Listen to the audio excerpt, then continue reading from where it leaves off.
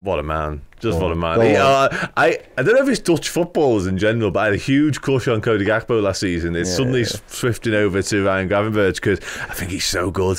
Honestly, I think he's so, so good. I just love watching play footy. Um, we spoke about it in the IMR about first 10 minutes of his first Merseyside derby, his first start in the Premier League for Liverpool, and he's just chipping it over lads and bringing it back down on the other side of him. I mean, what am I watching There's here? a lot of Like, what's this guy lad. doing, mate? What's he doing?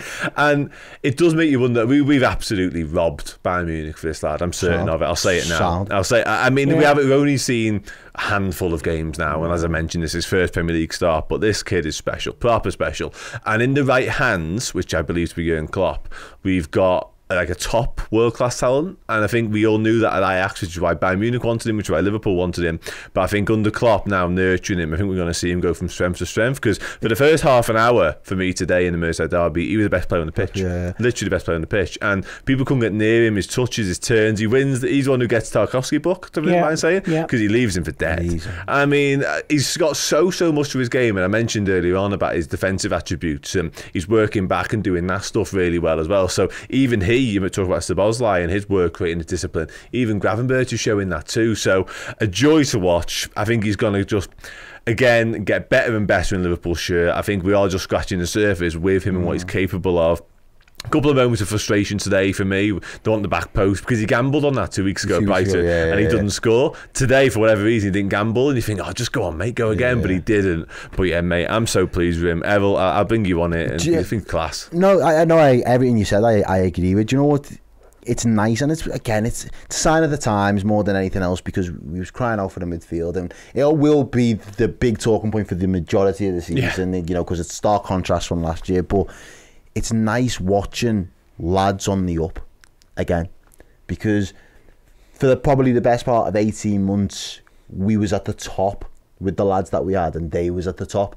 And then after that point everything was slow. And understand like age factor what the, The amount want of to footy, achieve, basically. the amount of footy Yeah. everything it made sense why there was the decline obviously we didn't want Fabinho's decline to be so rapid in, in any way shape or form but it made sense that there was that little bit of decline He was just like, fell off a cliff, didn't he? yeah, but you just knew you'd seen the best. Those lads that have given you so much, give you so many good memories. We've seen the best of them now, and yeah, they might put in good performances here and there every now and again, and, and we might kind of have a, a bit of a renaissance for a, a couple of months or whatever it might be. But knowing now that we are safely in in in this new midfield setup where we are, as you said, scratching the surface, and we're at a point now where you're looking and thinking the best days of these lads together are yet to come. Hmm. But we're getting results now when it matters as well. Footy again matters. It means something every game. Three points on the board, chipping away, keeping with the chasing pack, pulling away from the pack, whatever it might be. It matters right now, and seeing these lads coming into their own, that for me is probably the most exciting thing about this front three. It's because it's like the sky's the limit for you. Yeah. We you know we talked about having the best four with three in world footy for a, you know a good two three seasons. In a year or two years time, we could be sitting there having our conversation, thinking we've got the best midfield. You know, forget your Tchouamenis, forget your Camavingas, forget the lad who shall not be named. you know what I mean? Like, forget all of that. We we've got the real deal. Forget the KDBs, all of that. And it's not here today, but what they are doing today is still as important because they're getting results when it matters. And, and I, I just I'm just excited by it, mate. The more the more I'm seeing it, the more you say the likes we got Jones to add in. Yeah. We know that we still want someone to be the dedicated six when we're going to have those options all fit, firing. And as I touch wood again, I hope that this part of our, our team gets a good birth of fitness as well, so they're not really hamstrung by not the availability issues.